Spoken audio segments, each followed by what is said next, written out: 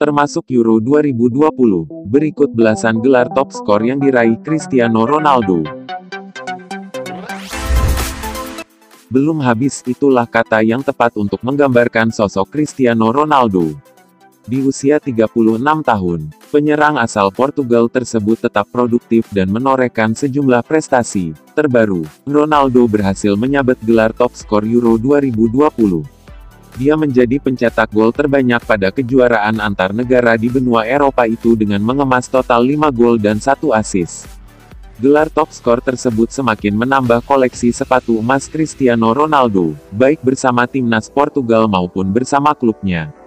Termasuk Euro 2020, total 19 gelar top skor berhasil diraih CR7.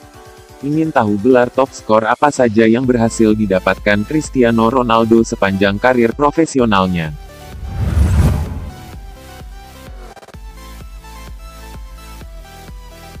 Ronaldo menjadi raja gol pada ajang Liga Champions Eropa (UCL). Dia bahkan mampu menjadi top skor kompetisi antar klub paling bergengsi di Eropa itu sebanyak tujuh kali. Ronaldo meraih gelar top skor pertama UCL bersama Manchester United pada 2007-08. Kala itu, dia mampu mengemas total 8 gol.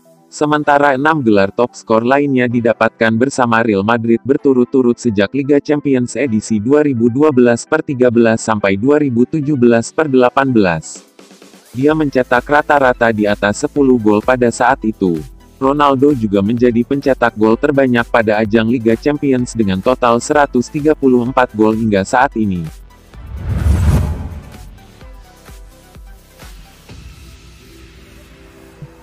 Sebelum memenangi gelar top skor UEFA 2020, Cristiano Ronaldo juga pernah meraih gelar top skor pada tahun 2002. Dia mencetak tiga gol kala itu. Namun, saat itu, sepatu emas diberikan kepada Fernando Torres. Sebab penyerang timnas Spanyol itu mencetak tiga gol dengan menit bermain yang lebih sedikit. Satu lagi gelar top skor di pentas Eropa yang didapatkan Cristiano Ronaldo adalah pada ajang UEFA Nations League edisi 2018 per 19. Penyerang timnas Portugal itu mencetak tiga gol. Tiga gol tersebut dilesakkan Ronaldo ke gawang Swiss. Di akhir turnamen, Portugal juga keluar sebagai juara pada ajang tersebut. Selain di pentas Eropa, Cristiano Ronaldo juga mampu meraih prestasi di level internasional. Dia mampu menyabet gelar top skor pada ajang Piala Dunia antar klub sebanyak dua kali. Gelar tersebut berhasil dia dapatkan secara berturut-turut pada musim 2016-17 dan 2017-18. Kala itu, Ronaldo masih menjadi pemain Real Madrid. Ronaldo tidak hanya tajam di pentas Eropa dan dunia, tapi di liga domestik, dia juga tampil produktif. Baik saat berseragam Manchester United, Real Madrid maupun Juventus. Buktinya, dia mampu menyabet gelar top skor Premier League pada musim 2007-08 bersama Manchester United dengan 31 gol. Kemudian di La Liga sebanyak tiga kali pada musim 2010 per 11, 2013 per 14 dan 2014 per 15 bersama Real Madrid. Terbaru Cristiano Ronaldo berhasil menjadi yang tertajam di Serie A bersama Juventus. Dia mencetak 29 gol pada musim 2020 per 21.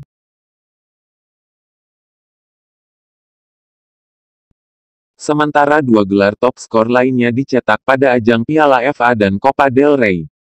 Piala FA merupakan kompetisi antar divisi di Inggris, begitupun Copa del Rey atau Piala Raja di Spanyol. Gelar top skor Piala FA diraih bersama Manchester United pada musim 2004-05 dengan 4 gol.